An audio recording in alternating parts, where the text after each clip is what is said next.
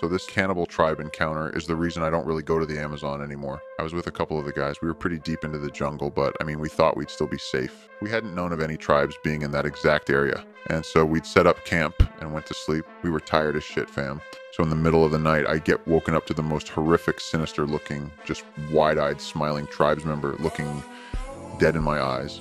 He was uh, holding a knife up to my neck. All I could hear were the gurgling sounds of my friends choking on their blood. I heard the other tribes people just gutting and feasting on, on my friends. It makes me sick to my stomach, fam. And uh, the tribesman that was staring at me got so close I could feel his breath. He said to me, Kokomo. Then he backed away from me and, and, and they all just disappeared into the dark depths of the jungle. I remember just looking around, seeing all my friends were dead. Jesus Christ, brother, I'm sorry. Thanks, man.